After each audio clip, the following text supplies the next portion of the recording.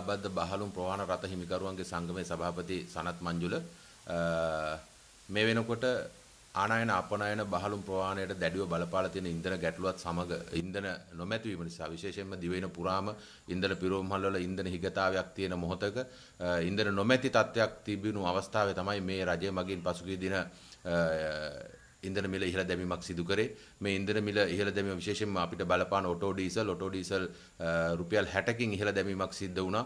මේ ඉන්ධන මිල ඉහළ දැමීමත් සමග ආනයන අපනයන ප්‍රවාහන කර්මාන්තයට දැඩිව එය බලපාලා තියෙනවා. මොකද මේ වෙනකොට පසුගිය මාස කිහිපය ගත්තොත් ළඟ ළඟ ඉතා ඉහළ මුදලකින් ඔටෝ ඩීසල් මිල ඉහළ දැමීමත් සමග ඇත්ත දැඩිව බලපාලා තියෙනවා මේ වෙනකොට ආනයන අපනයන ප්‍රවාහන කර්මාන්තයට. මේ වෙනකොට විශේෂයෙන්ම ආනයනකරුවන් අපනයනකරුවන් සහ විශේෂයෙන් රටේ පාරිභෝගික ජනතාව දැඩි අපහසුතාවයට ලක් වෙලා තියෙන මොහොතක තමයි මේ ඉන්ධන මිල ඉහළ දැමීම සිදුවන්නේ. මොකද මේ වෙනකොට පාරිභෝගික ජනතාවට ඇති වෙලා තියෙන භාණ්ඩ මිල ඉහළ යෑමත් එක්ක ඇත්තරම අපි මේ වෙලාවේ අපිට මිල ගණන් ඉහළ දැමීමට හැකියාවක් නැහැ. නමුත් මේ යන තත්ත්වෙත් එක්ක විශේෂයෙන්ම රුපියල් 60කින් ඩීසල් ලීටරයක මිල ඉහළ දැමීමත් එක්ක අපේ ප්‍රවාහන කර්මාන්තයේ දැඩිව බලපානවා. ඒ නිසා අපි අපේ ප්‍රවාහන හිමිකරුවන් අපේ ඒකාබද්ධ සංසදයේ විධායක කමිටුව විසින් අපි සාකච්ඡා කළා තමයි මේ තීරණය ගත්තේ. මොකද ඇත්තටම මේ වෙනකොට මේ ඉන්ධන මිල ඉහළ දැමීමත් සමග අපිට ප්‍රවාහන ගාස්තු වැඩි කරන්න වැඩි නොකර බැරි තත්ත්වයක් උදා වෙලා තියෙනවා. ඒ නිසා තමයි විශේෂයෙන්ම මේ සියලු දෙනා ගැනම කල්පනා කරලා තමයි අපි මේ මිල ඉහළ දැමීම සිදු කරන්න තීරණය කරේ. මොකද අපිට මේ අපේ ප්‍රවාහන කර්මාන්තයට වැය වෙන ඩීසල් වලට වැය වෙන මුදල අනිවාර්යයෙන්ම අපි අය කරගත යුතුයි. ඒ සඳහා තමයි අපි මේ මුදල ඉහළ දැමීමට තීරණය කරේ. අද මධ්‍යම රාත්‍රියේ සිට ආනයන අපනයන බහලුම් ප්‍රවාහන ගාස්තුව 10%කින් ඉහළ දැමීමක් සිද්ධ වෙනවා.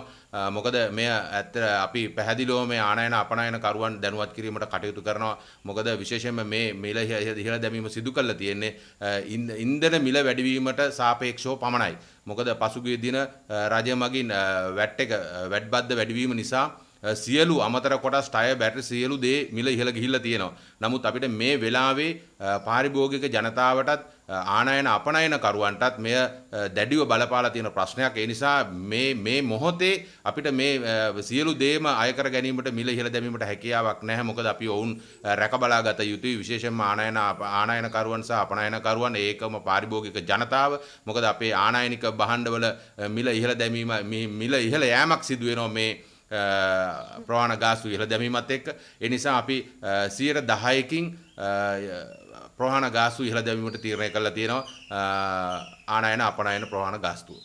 දැන් මේ දැන් ඔය 10%කින් කියන්නේ එතකොට ලක්ෂයක ප්‍රවාහන ගාස්තුවක් ඇති වුණොත් එතකොට කීයක් විතර වැඩි වෙනවද? රුපියල් 10000ක් වැඩි වෙනවා. රුපියල් 10000ක මිල ගාස්තුවක් වැඩි වෙනවා. වැඩි වෙනවා. දැන් දැන් මේ මේ මේත් එක්කම දැන් දැන් ඩොලර් උපයා ගැනීමේ තියෙන ප්‍රවණතාවය අඩු වෙන්නේ නැද්ද? දැන් ඔබතුමාලා දැන් ওই විදිහට ගාස්තු වැඩි කරපුවාම දැන් අපි කියමුකෝ ලංකාවේ පිටරට යවන දේවල් වලට ආදායම අඩු වෙන්නේ නැද්ද එහෙම? මෙහෙමයි මේ වෙනකොට රටට තියෙන ඩොලර් අර්බුදය සඳහා විශේෂයෙන්ම අපනයනය තමයි මේ වෙලාවේ වැඩි ප්‍රමාණයක් සිද්ධ වෙන්නේ.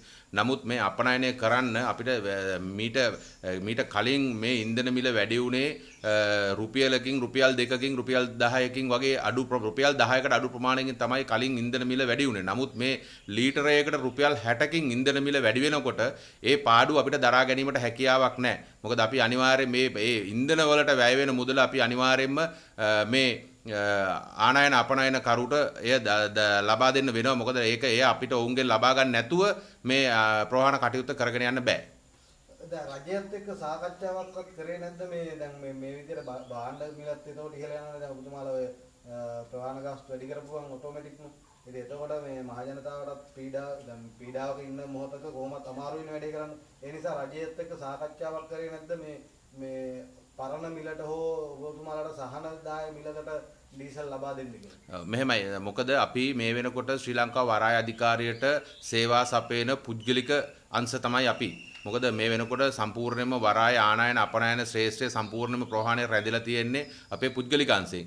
නමුත් අපිට මේ වෙනකන් කිසිම රජයෙන් අපි සහනාධාරයක්වත් අඩුම ගානේ සහනාධාරයක් කෙසේ වෙසත් අපිට රජය මගින් ඩීසල් ඩීසල් ටික ලබා දෙන ක්‍රමවේදයක් මේ වෙනතුරු අපිට සකසලා නැහැ. මොකද මේ වෙනකන් අපිට මෙතන තියෙන ලොකුම ප්‍රශ්නයක් තමයි මේ ඩීසල් ලබා ගන්න දිනකට දින 7 8 දින 10ක් අපේ රියදුරන් පෝලිං වල රැඳිලා තමයි මේ ඩීසල් ලබා ගන්න කටයුතු කරන්නේ. ඉතින් එහෙම අපිට ඒ ඒ මුදල අපිට මේකට දැම්මොත් මේ දින 8ක් 10ක් පොලිමේ ඉඳලා ගන්න ඩීසල් ටිකෙන් අපිට සමහරට යාපනයට හයර එකක් ගිහිල්ලා එනොත් එක හයර එකක් ගිහිල්ලා එන්න ඩීසල් මදි. මේ දවස් 8ක් පොලිමේ ඉඳලා ගන්න ඩීසල් ටික. ඉතින් ඒ වගේ වෙලාවකට අපිට මේ හයරකට විශාල මුදලක් අය කරන්න බෑ. නමුත් අපි අර ආනයන අපනයන කරුවන් රැක ගන්නත් පාරිභෝගික ජනතාවට දැඩි පීඩනයක් නොදෙන්නත් තමයි අපි මේ ප්‍රවාහන කටයුත්ත කරගෙන යන්නේ. ඉතින් අපි දිගින් දිගටම රජයට බලපෑමක් කරේ මේකට ඩීසල් ලබා දෙන ක්‍රමවේදයක් සකසන්න කියලා. මොකද මේ වෙනකොට ඩොලර් ලැබෙන එකම ආදායම් මාර්ගය අපනයනය. සියට හැටක් මේ වෙනකොට අපනයනයෙන් තමයි ලැබෙන්නේ. නමුත් අපනයනයට අවශ්‍ය ඩීසල් ටික මේ වෙනකොට ආනයනකරුවන් අපනයනකරුවන් සහ ප්‍රවාහනරත හිමිකරුවන් සහ රියදුරන් එකතු වෙලා ලබා ගන්නා ඉන්ධන ටිකෙන් තමයි මේ දැනට පවත්වාගෙන යන්නේ. නමුත් අපි ඉදිරියේදී බලාපොරොත්තු වෙනවා CPC ආයතනයෙන් අපිට ලබා දීමට කටයුතු කරයි කියලා.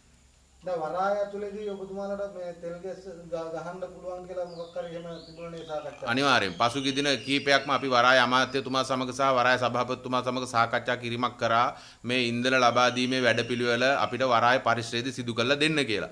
මොකද අපිට මේ දැන් CPC එකෙන් පොරොන්දු වෙලා තියෙනවා අපිට ලබා දෙනවා කියලා ඩීසල් කෝටා එකක්. එයාලගෙන් කොටසක් අපිට මේ විශේෂයෙන්ම මේ වෙනකොට රටේ අත්‍යවශ්‍යම සේවාව හැටියට මොකද අත්‍යවශ්‍ය සේවාව බවට පත් කරලා තියෙන තියෙන මේ ආනයන අපනයන සේවාවට ලබා දෙන්න කටයුතු කරනවා කියලා. නමුත් මේක බාහිර ඉන්ධන පිරවුම් මල් වලින් අපිට ඉන්ධන ලබා ගන්න ගියාම විශාල ගැටලු රාශියකට මුහුණ දෙන්න වෙනවා. සාමාන්‍ය ජනතාව දැඩි කෝපයට පත් වෙලා ඉන්නේ දින සති දෙක තුන පෝලිං වල රැඳිලා. ඉතින් ඒ නිසා තමයි අපි වරාය අධිකාරියට විශේෂයෙන් වරාය අමාත්‍යතුමාට සහ සභාපතිතුමා දැනුවත් කරේ මේ වරාය පරිශ්‍රයෙන් ලබා දීමට කටයුතු කරන්න කියලා. නමුත් අද වෙනකන් ඒ සම්බන්ධයෙන් අපිට විසඳුමක් ලැබිලා නැහැ. අනිවාර්යෙන් මොකද ඒ 110 අපිට වැඩි කරන්න නැතුව මේ ප්‍රවාහන කටයුත්ත කරන්න බෑ. මොකද ඒ ඩීසල් වලට වැය වෙන මුදල අපි අනිවාර්යෙන්ම අය කරගත යුතුයි. මොකද අපිට මේ පාඩුව දරන්න බෑ. ඒ හින්දා ප්‍රවාහන කර්මාන්තය දිනෙන් දින කඩා වැටීමකට ලක් වෙනවා. ඒ සියලු කරුණු සැලකිල්ලටගෙන තමයි අපි මේ 110 අවම ප්‍රමාණයකින් වැඩි කරන්න තීරණය කළා තියෙන්නේ.